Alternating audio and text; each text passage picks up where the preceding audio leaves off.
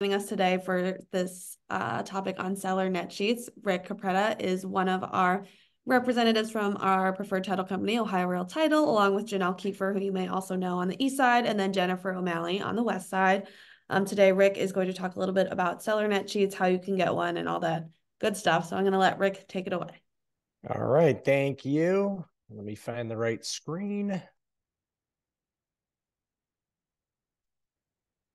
All right, cool. All right. So, does everyone see this road to understanding net sheets and buyers in a cash deal? Yep. All right, cool. Um, let's move this along over here and actually present if I could figure out how to be smarter than this thing. All right, cool. So um, before we even get started, um, you guys are welcome to open up your mics and do whatever you need there. Um, does anyone have any questions before we even start about anything in particular? Um, any problems you've had trying to do net sheets in the past? Um, you know, I know the number one confusion is probably around taxes, which we're going to discuss. But uh, again, if anyone has any other questions, open up your mic now and let me know so I can make sure that I hit on that.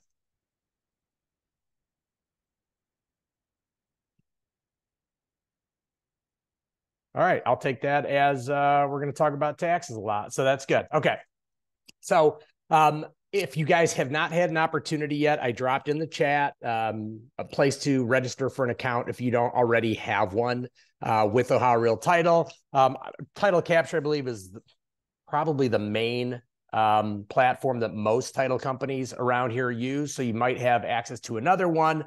Um, you could use any of them in this example. Mine's just going to look a little bit different because obviously I'm using mine, um, but that's in the chat. Also, at the end of this presentation, I will drop in, it's only slick six slides. It's not a million slides. I'm going to drop in the PDF so you guys have it for future reference in case you have any questions about what you need before you do one of these things.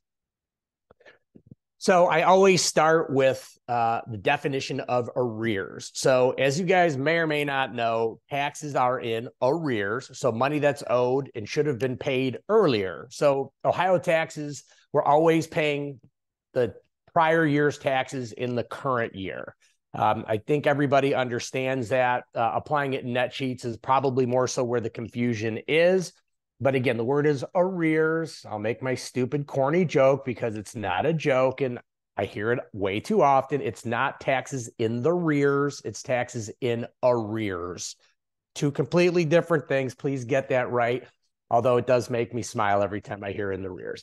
All right. So, um, so that's how Ohio does it. Not every other place does. So if you're dealing with somebody in another state, they're going to be like, no, no, no, no, no, no, no, because that's not how my state does it. This is how Ohio does it. And many states are different in how they do it. I believe some might even do monthly current taxes. Um, again, I don't know because I only work in Ohio, but this is how we do it. And people from other places are wrong. This is this is how we do it. So, how do we look at what's considered first half and what's considered second half?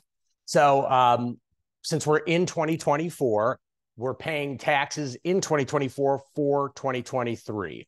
So we're looking at January 1 through June 30th of 2023 is considered the first half. So it's a traditional calendar. It's just the first six months from the first day to the last day of that sixth month. And then picking up the second half at July 1st through December 31st of 2023. Um, at this point in the year, I believe every county that we probably deal in has already been due and if not it's probably due here in a in a minute. So everyone's first half taxes should be paid. Um, when looking at the county we're going to do that in a second um, you know understanding if someone has a mortgage and they escrow their taxes the actual mortgage company is going to make that payment on behalf of the buyer I'm sorry, the the owner, now the current owner. If it's someone who bought cash, it is their responsibility to make that payment um, when they're due. And again, it's pretty typical. January or February is when the first half is due, depending on your county. Second half is pretty much always going to be due in July. The, the only time I think where we've kind of gotten a little bit off of that was during COVID when counties were a little short-handed and taxes were kind of all over the place and everything was all over the place. So uh, everything's pretty much back to normal for now. So So that's how we figure out which half we're talking about. Uh, and then it'll all make a little bit more sense as we get into the net sheet. So um, as I already dropped in the chat, this is also the link you could uh, bookmark. Um, or once you know, once you're already in there, you can just bookmark. You don't have to put this exact one down, and you're all going to have these slides also. So, um, but OhioRealTitle.TitleCapture.com is going to bring you to our main page. And what can you do here? So, a lot of times people just want to compare title company fees. So you could simply go into title quotes and there's very little information you need to input there, like literally address, is it financed or not, purchase price, and you hit go, and it'll give you both buyer side and seller side. That's not why we're here today, but that's literally the easiest way to take a look at the uh, title quotes.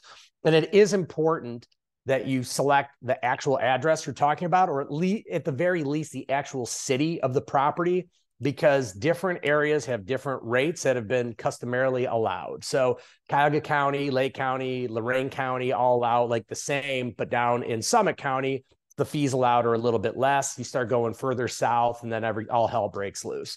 So uh, it's a little bit different. So make sure that you're talking the same language as somebody else's by using the right address or the right city, because that'll pull up the right fees. Um, another one we're not going to go over today, but it's a pretty cool one, and it's the same thinking as the net sheet is a sell to net. So you guys in this market, I mean, I feel like most people are going to walk away with at least a couple bucks.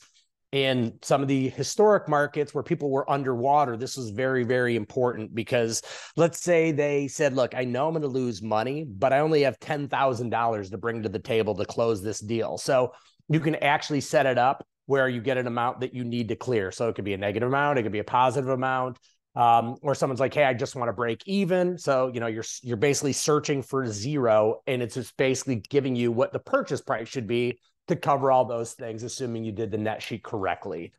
Um, and then buyer estimates is kind of similar to the title quotes. It's a little bit more involved. Um, and again, we don't have to go through that with the lender side, but if we have time, we'll go through it on the cash side because the lender side, we don't know what those fees are going to be, right? So I the only time I build that is to strictly just show the title side, but honestly, the title quote sometimes is less confusing than the buyer estimate. But for a cash buyer, it's pretty darn close. So we'll show you how to do that and the seller net sheet. If I'm talking too fast, let me know. And if you have any questions up to this point, just feel free to jump in, stop me. You don't even have to raise your hand, just start talking. So, this is kind of like what we need or what you need to create a net sheet. I don't think any of this stuff's going to be a surprise. And actually, all of this stuff is this the easy stuff to input because you're taking it right off a contract or you're creating it with the seller, right? Maybe on a listing appointment or prior to after you've done your homework, you're going to kind of have an idea where you want to price this thing or you think it'll sell. So just to review property address, purchase price, close date, mortgage payoff. That's up to you if you want to include it. If they're adamant about you putting it on the net sheet, that's fine. But every time I communicate any of these people, I'm like, this is an estimate. Like you don't have their payoff. Hell, they don't have their payoff. They just have what they see online, which isn't actually a payoff. Um, so you just want to be careful with that. Now, I used to insist on not ever including them, but now I do based on, um, again, I just say it's an estimate. This is the information you gave me. So I kind of get myself off the hook with that. I suggest you guys use similar verbiage if you're going to include those on your net sheet. Um, commission. So I'll show you there's a couple different ways.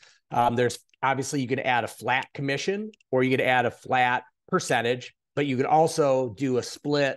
Um, so like, you know, a, a seven, five or a six, four, the only option we don't currently have is like on the really higher price properties where you might see a three-way split, like, you know, a, a seven, five, three or something like that. Or if, you know, we just don't have that capability yet. So what I do there is I just do a hand calculation. I drop it in as a flat rate, but I'll show you that.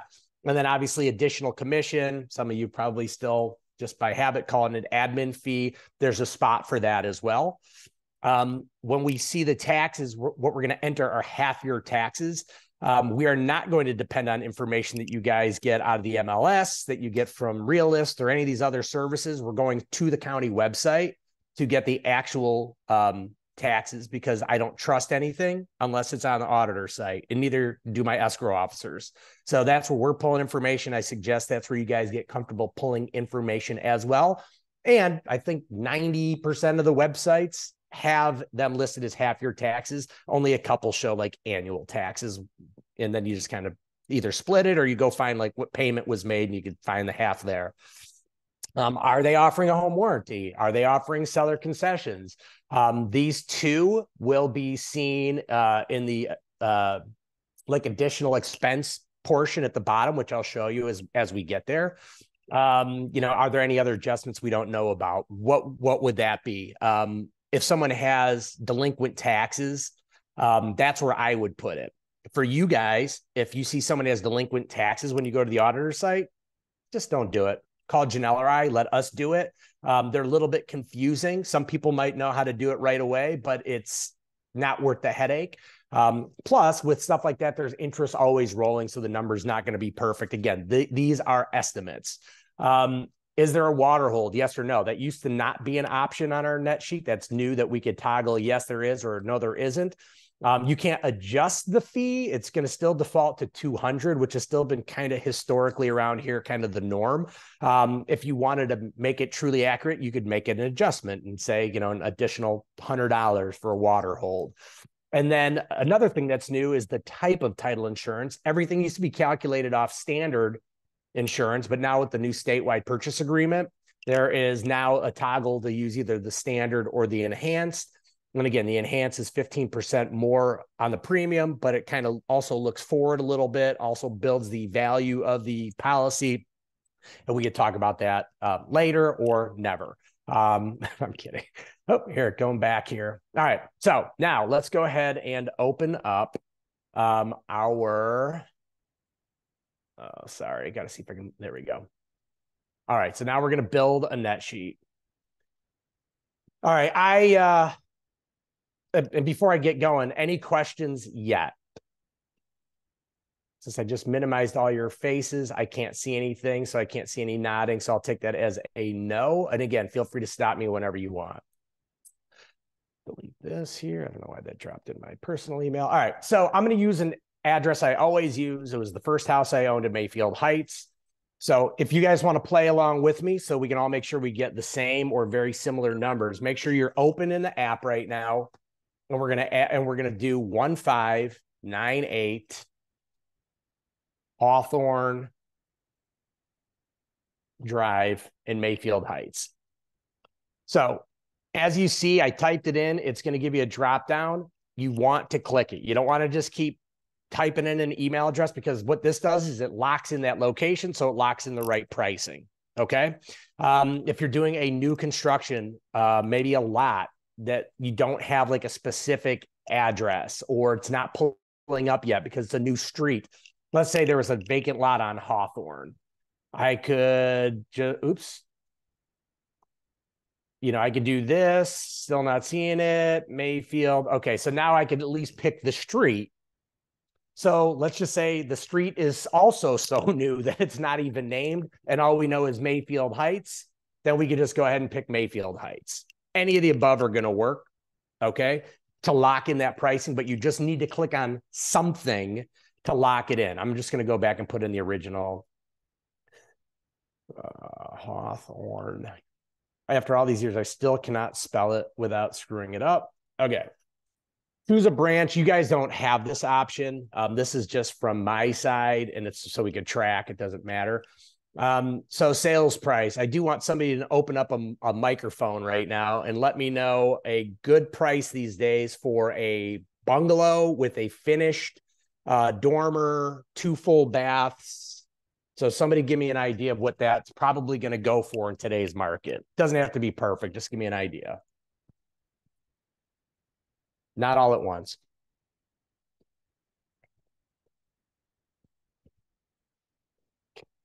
Bueller, Bueller. All right, we're gonna go.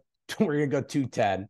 I don't know if that's right or not, but uh, I certainly sold it for way less than that. So, um, close date here is important because what close date's going to do is going to figure out the tax proration. So, what we first discussed was how do we come up with what's due for the half year calculations. This is also going to help calculate what is kind of built up. So what's accruing today that would be due next year. Okay. So right now we know that we owe the 2023 first half should be paid already. Second half's not paid yet, but we're accruing interest in 2024 that will get paid in 2025. Okay. So that is calculated from January 1, 2024 through the close date. All right. So you close early in the year, that tax prorations that's on top isn't going to be that big. If you close on December 29th, 2024, that proration is going to be pretty much the full year proration is going to go to the next buyer because they're going to owe um, the tax payment in January or February of 2025. The good news is, is you guys don't have to calculate this. You just have to understand why the number is going to be different than the half year taxes that you guys um, are going to add in here down in a minute. Okay. So in this case, we're just going to use this date, close date uh, of the 22nd. It automatically defaults to about a 30 day close. Um, so you don't have to mess around too much there. And what's also nice is that it pulls up this little calendar. So if somebody wants like a 45 day close, I'm like, okay, that's two more weeks. So not this week. It'll be the first week in April. Boom. That's how you do it. Super easy, but we're just going to leave it right there. That calendar definitely helps speed things along. Um, so down here, this is the new section that had not been included. This is probably within the last month because of the statewide agreement. So is there a water holds fee? Um, it's Mayfield Heights. They have city sewer and city water. So I'm going to say yes, that's probably going to be included on the offer. And what type of policy do we want? The basic or the enhanced? I'm just going to go with basic here because it's still predominantly what people are picking. This one here that says prior policy been issued within 10 years. So let's say I bought it two years ago and I would like to get a reissue rate, or you guys know about that, or you know, someone's mentioning it, or, or, or you know, you could say yes. And then the amount you would put here, and again, this isn't written anywhere. So just listen here or don't even include it. I wouldn't even bother, but I'll I do it when I do them for you guys. Is you'd put in what they originally bought the house for. So in my case, I think it was one thirty nine thousand. Um, so what it does is it'll basically create a discount on the new policy based off of the old policy having been issued within ten years, um, and it goes off the, the the previous amount. Do you guys know what reissue rates are? Thumbs up, thumbs down for those I could see. No, yeses and nos. Okay. So reissue rate is like a 30% discount on the policy based on, I believe, like the difference between the new purchase price and this policy price. So it's not a ginormous difference. And again, if it's being, and it's not a full discount only to the seller. So if the contract says that the buyer and seller are splitting it 50 50, this discount will also be split 50 50. Um, is it worth it? Of course, if you're trying to save somebody money and you know, um, if Ohio Real Title closed it in the past, I can pull the policy. Like you, escrow is not automatically going to search and see if it's 10 years old or not. They're going to want you guys to let them know. Um, but we can pull anything we've closed in the past. If we did not close it and you would like your client um, to get the um, reissue rate, they'll have to send us in their old policy or at the very least let us know what title company did it and maybe reach out to them and just have get the policy sent over to Ohio Real Title. It really isn't that difficult. Most people don't know where their actual policy is, but if they remember who closed it, at least they can reach out to them and have it sent over to us or to you, and then you could send it to us. Uh, and again, the discount's not ginormous unless say I got this house for 139 and now I'm selling it for, you know, a million, maybe the maybe the discount would seem more substantial. I don't know, but it's not huge, but it's something. Um, and you guys don't have this, I believe, right? Nobody sees manually adjust title fees. Yeah, so that's just one that I could do there. Um, when would I use this? I would use this if I have like an investor and I need to put in the investor rates instead. I could adjust stuff there. Um, or if I wanted to make the, the water hold, say it was a $500 hold, I could I could make those adjustments there. You guys can't. So if it's something like that, you could always ask me or Janelle to do that or Jen. Um, in this case, we will put in a loan payoff just because this is imaginary land. This is where you'd put it. So let's say I owed $75,000 or whoever owns this owes $75,000 on it. Um, real estate commissions, we talked about the uh, that you can do flat or you can do the graduated. Um, just because the graduate's a little bit more complicated, we'll do that. And again, this isn't hard. If you're going to do it, if you're the list agent, you can do it either way. So if you're, let's say you've got a seven five negotiated, and you're taking four three, and you're offering a three two, then you can do that. You can show four three and three two, and then uh, transaction fee at uh, Greater Cleveland or, or Greater Metropolitan's what?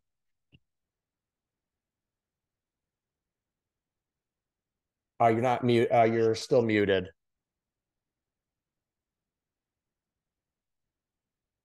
Two forty-nine.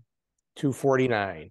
Okay. So we'll put that in there. So so this is one way you could do it. If you don't want to split them, you're not sure what you're going to do yet. You're doing this literally on a listing appointment and you're proposing a 7-5, just put it up here, just on your all on your side.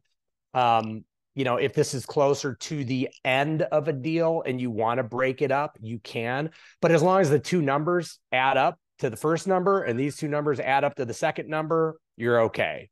Does that make sense or no? Again, I'll show you. So a four here and a three here and a three here and a oops and a two here.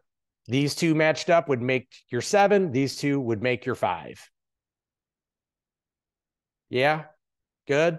If you want to split them up that way. Like you said, we're just going to make it easy on ourselves and just go back and do a seven five up here. Okay transaction fees in there.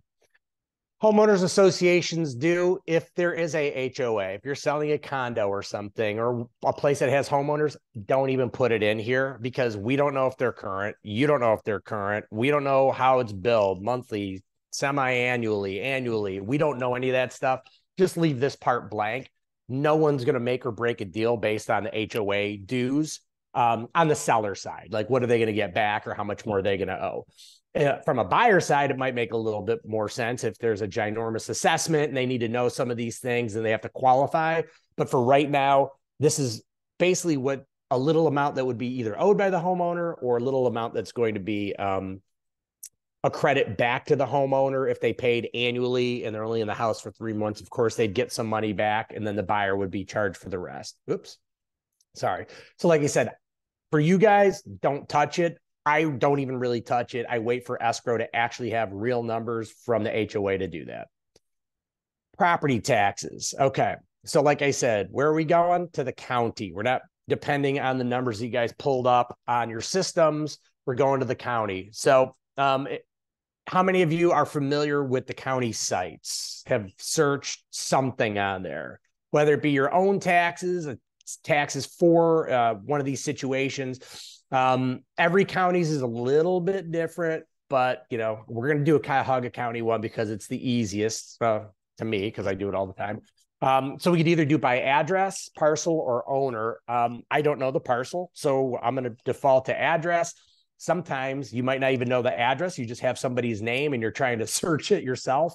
Um, it's nice to be able to search it by owner. But here we're go one five nine eight Hawthorne and these are the current owners. So you click on that.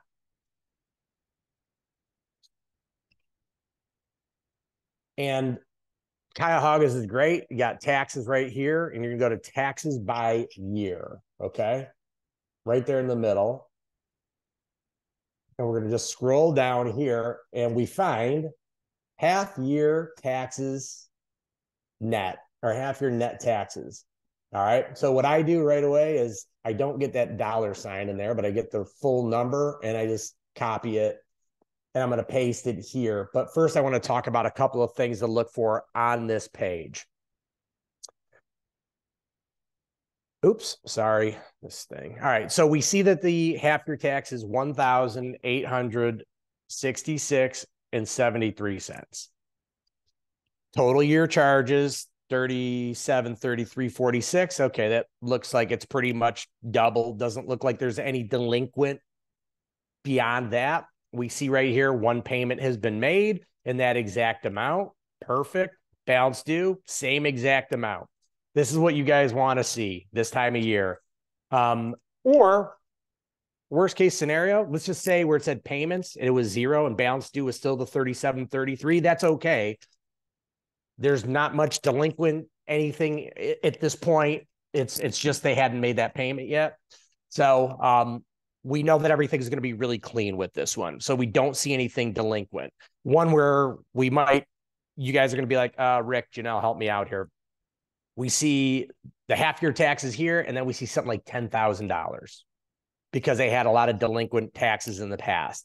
And even if maybe they made a payment here, sometimes they have 10,000 in charges and then they have an $8200 payment here and you look over here like oh balance due is actually the right number. So they actually caught up. They knew they were going to sell. They wanted everything to look clean. So sometimes it's okay if these two numbers match and there is a really weird number here and a really crazy number here because oftentimes people do actually catch it up before they sell not always, but sometimes. But in that case, you can use the regular numbers again. So I'm probably talking too much. Let's copy this number and go back to the net sheet.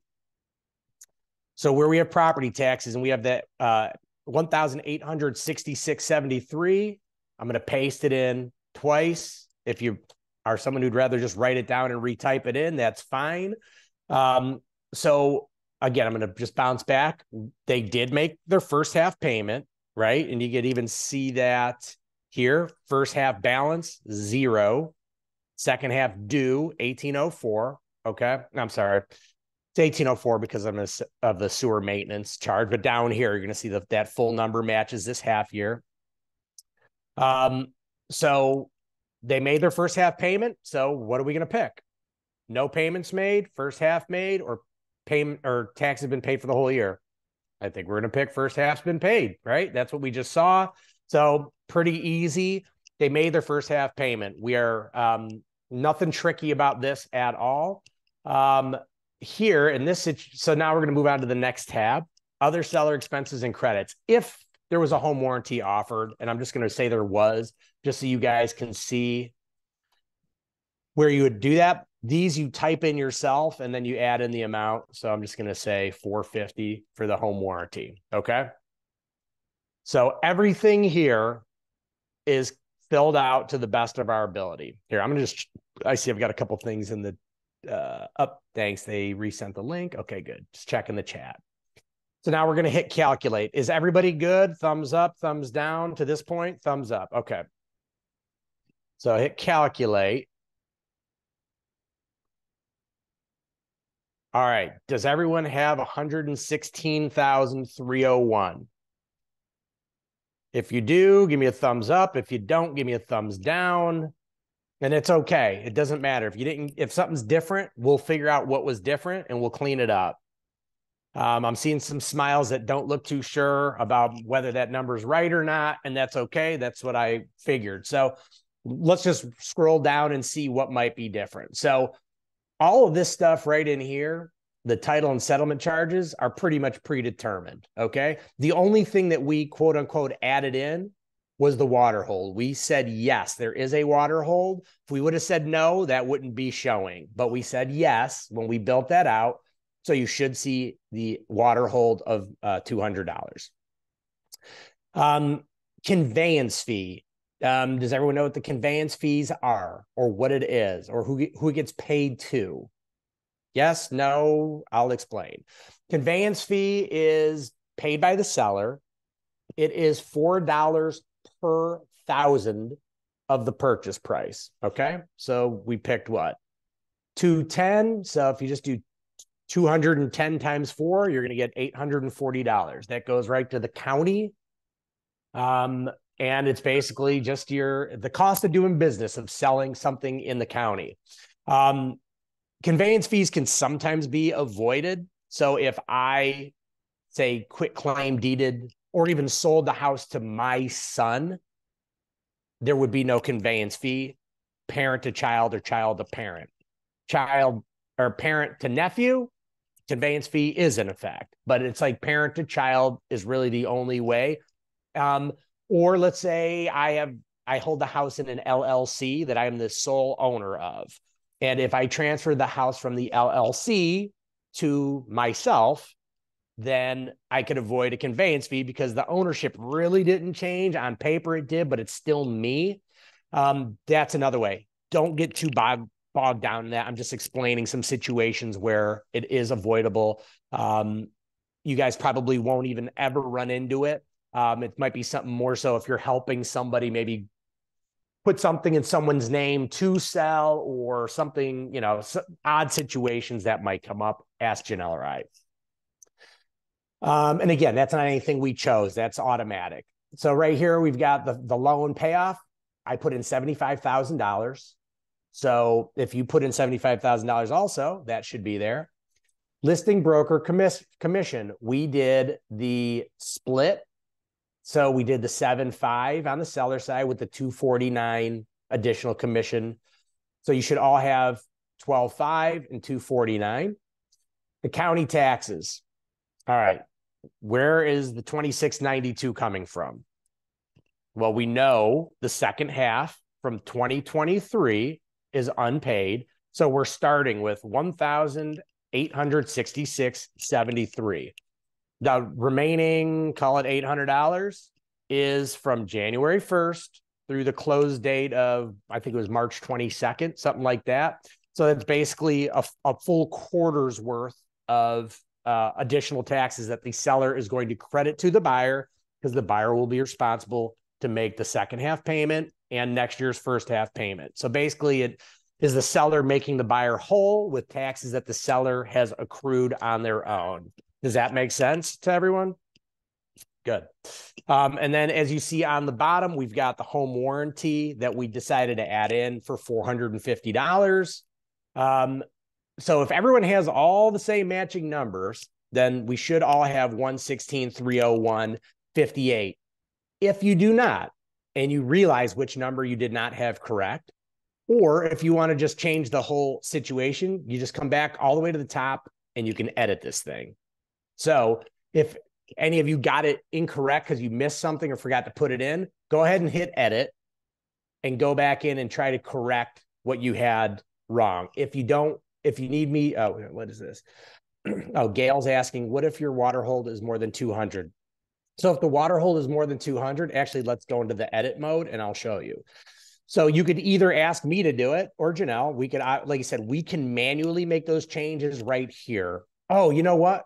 This is this is why I'm sorry, guys. I forgot I actually put a prior policy liability amount in there.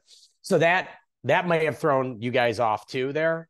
Um, so that's that changed the owner policy amount. So, um, Brian, do me a favor and write down the um, amount you see right now for owner's policy because I'm going to actually take this out because I want to see what the, the savings is between the two amounts. So if you're on your net sheet with here, I can do it too. Let's just recalculate. So let me see. So the owner's policy was right here 446, 36 with the discount. Okay. Um, so if we go back in and we take out the reissue rate, I'm sorry, I don't usually put the reissue rate in there. That was stupid on my part. So let's delete that out and say no and recalculate this to see what kind of a savings that would have been or was.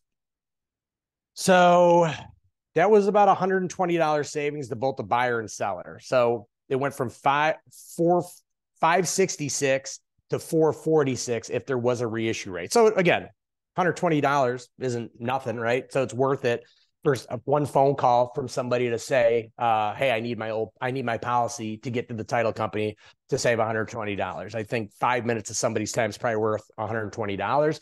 And it's actually $240 because both the buyer and seller are benefiting that 120. Okay. Now, Gail, back to your question. So if you have a water hold of say 500 just for a nice round number. And we know that 200's already there. You can go to other seller expenses and credits, and this would be considered an expense. So water hold, you know, additional, if you want to say that, of 300. So now you're going to have it as a new line item. So you'll have basically two. You'll have the water hold here of 200, and then you'll have the water hold additional 300 right here. hopefully that answered that question. Um, as to any, if you ever need to make any adjustments, okay. Um, like I said, seller concessions and home warranty are the two biggest ones. Um, uh, let me show you guys another one.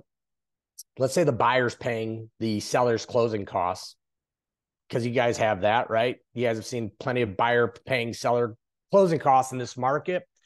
So this one wouldn't actually be an expense. This would be a credit back to the seller because the buyer's paying. Let's say the buyer was going to pay $2,500 to sweeten the pot and get their deal taken.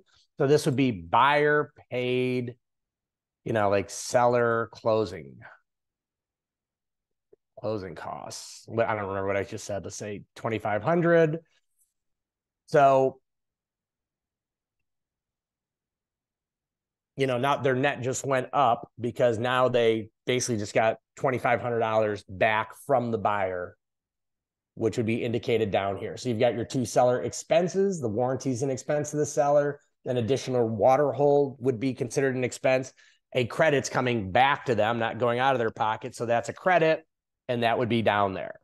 So those are kind of some of the ways that you can manipulate some of your numbers to get them to where they need to be without uh, reaching out to Janelle or I or your escrow team to do that. Does that make sense for everyone? All right. Um, before I even move on to the next uh, piece of the buyer expense, does anyone have any questions now about the net sheet?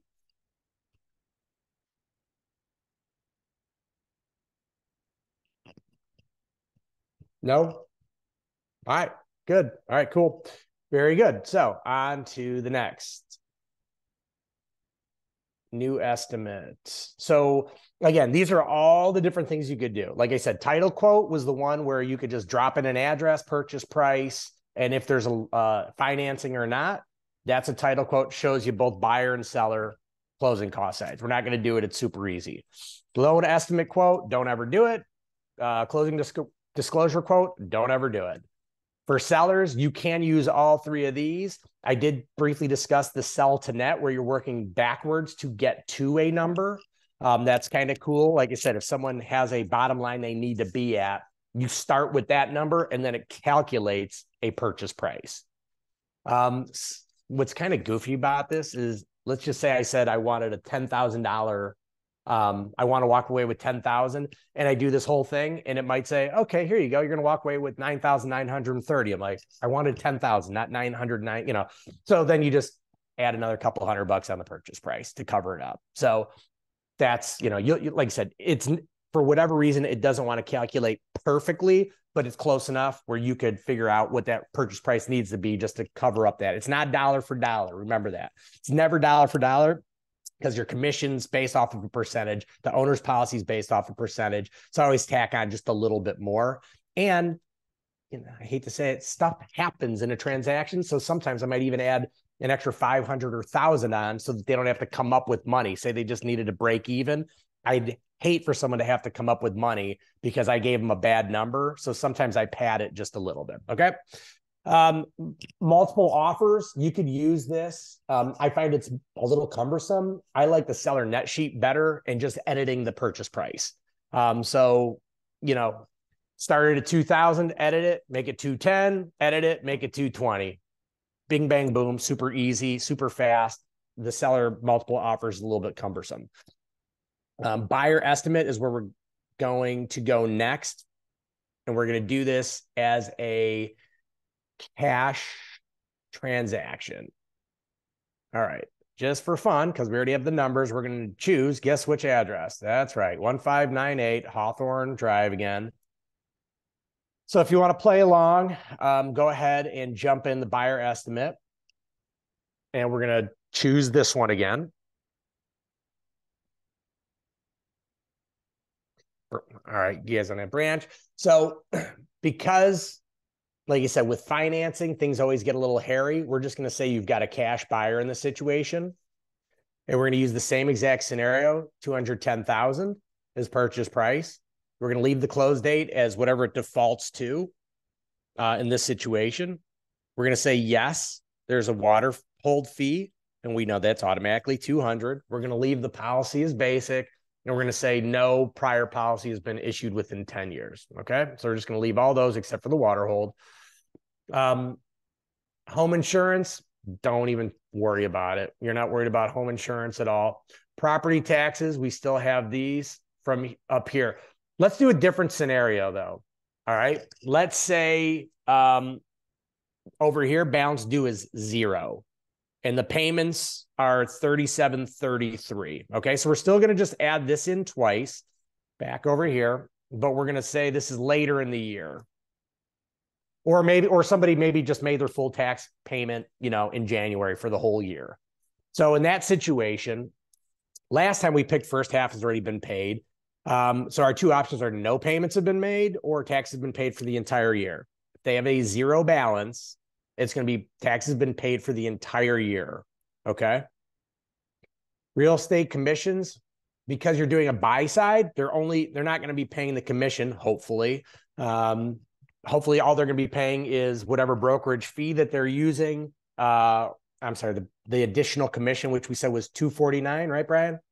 Yep. All right, and then we're not messing with homeowners. We're not messing with impounds. We're not messing with lender fees. Again, it's a cash deal um, other buyer expenses and credits. Um, if let's just say your buyer was going to pay, you know, some fees for the seller, this is where you would put it, and it would be an expense to the buyer. So you could put like, you know, paying sellers closing costs 2500 if we wanted to do it. We're not doing that right now. So here we go. This is going to show them what's due at closing. So this is not assuming any earnest money. This is just including the earnest money that they would put down, but this would be the total amount down. And we're like, okay, it costs 210. Why is it only $900 more when we know there's fees, there's other stuff like that? We'll bring it on down to the credit. So you always got to remember that that buyer is getting a credit from the seller for future taxes to be paid. And in this case, the, the seller had paid for the entire year. So the only part that they're going to need to credit is from January 1 through the close date in 2024, which is at 825. And that 825 almost negates the entire fees that we charge. So that's why there's only a very small difference between what the purchase price is and how much they are actually going to owe because that tax credit if the if the seller hadn't made a payment all year, or let's just say they even made the first half payment, they'd actually owe less than the actual purchase price, which still always blows my mind, but shouldn't, but whatever. So that's that. So to basically have everything here. This is super easy, just like all the other ones. Here, let me try to move this thing up. Um, just like any of the others, you could edit it. So if you need to edit the purchase price or anything else, um, the way that I personally will send these to you guys if you request one. And the way that I suggest you send it is download the PDF and then send the PDF. The PDF just looks nicer, I think, than the email, but you can email it directly to someone right here. So that's you if you're in a hurry or you're on your phone and you don't know how to retrieve PDFs on your phone that you downloaded, you can just share it with them this way. Nothing wrong with it. I just feel like downloading it here and pulling it out, it just looks sharper. Here, I'll show it to you guys. Uh, that is not it. Hmm. Not sure where that guy just went. Here he is. Here you go. So here's how it looks. It's going to have, you know, if you upload a photo of yourself, it'll have my smiley ass face or Janelle's or whoever your rep is. And then you'll be right here with all your contact information and your picture will be right here also. Um, and again, shows you the exact same thing, but in a nice tight PDF rather than uh, email, which I feel sometimes email formatting just looks different. So, um, so that's pretty much how to do a buyer estimate for cash buyer, how to do a seller net sheet, how the taxes work, and all that. Does anyone have any questions now that we've gone through the whole presentation? I mean, it's not too hard. Once you understand the taxes, the rest of the stuff you and the seller or you and the buyer are determining. Um, there's really not that much rocket science that's going on here. It's literally just understanding which kind of taxes should be charged or shouldn't. If you're not sure, do one, send it over to Janelle or I. We'll do the exact same net sheet that you just did and make sure that our numbers come out the same. This way, you're confident in sending something over to your client and you're not feeling like, I just messed up. Or I know plenty of uh, agents who just decide to not even include the taxes. They just say, yeah, there's going to be some taxes. Um, yeah, I mean, it's safe. Or some people use like a certain percentage for closing costs. Everything's right at your fingertips. I suggest you give numbers that are as tight as you can to people because uh, you don't want someone to be upset, nor do you want to be surprised at the end. Reiterate a hundred times that this is an estimate uh, to everyone that you're involved with. And I think that pretty much about covers it, guys. You have uh, another chat. Thank you, Rick. All right. Thank you, Brian. Um, I'm going to add in one more thing for you guys. Um, I'm going to add in the presentation. So if you guys want to download that, you can. Oh boy, what do we have in here? All right. All right, cool. Here is the presentation. So I'll give everybody a minute to pull that out if they want it. If you guys need it, um, I'll give you my email address right here. Just reach out to me anytime and uh, I'll just send it to you separate or any other questions that you have. And there's my phone number. All right. So thank you all for joining today.